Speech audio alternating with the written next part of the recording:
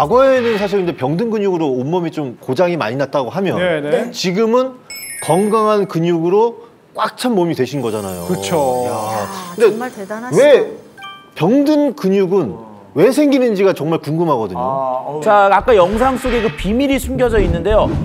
병든 근육 부르는 의외의 습관. 네. 바로 네.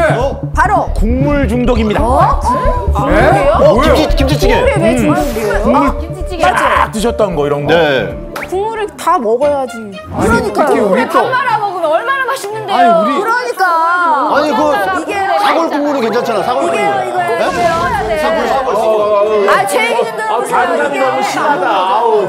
좀 설명 좀 들으세요, 그러면. 아우, 참.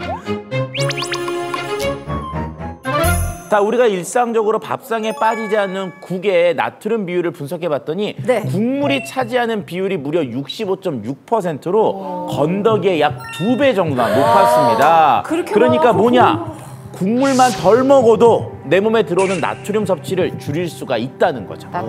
어, 몸속의 나트륨의 농도가 높아지게 되면은 혈압이 상승을 하고요. 그 다음에 혈관 내피가 손상이 되면서 근육에 필요한 산소와 영양소 공급에 차질을 줄 수가 있습니다. 그러면 근육이 정상적으로 성장을 하지 못하도록 방해를 하겠죠. 네, 실제로 나트륨을 너무 많이 섭취하시는 경우에는요, 근육이 감소할 위험이 남성은 1.3배, 그리고 여성은 1.4배까지 증가되는 것으로 나타나기도 했습니다. 네. 국물 먹으면 안 되겠네. 건더기만 먹어야 돼. 이제 건더기만 먹어야겠어요. 여기서 또 짚고 넘어가야 될 게 이 네. 병든 근육을 만드는 또 의외의 습관들이 우리가 잘 모르는 습관들이 있을 것 같아요. 실생활 속에서. 뭐가 있을까요? 네, 병든 근육을 부르는 의외의 습관, 바로 네, 바로 집콕 생활입니다. 식복생활. 밖에 나가면 숨이 맞아, 막히는데. 막혀 진짜. 집에 있어야 돼. 집이 안전하지.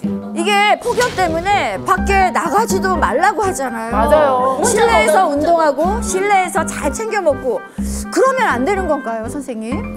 네, 안 되십니다. 안 된다고? 네, 자외선과 더위를 피해서 너무 집에서만 있게 되시면요, 아하. 근육 생성에도 꼭 필요한 비타민 D 부족으로요, 근감소증이 생기실 수 있습니다.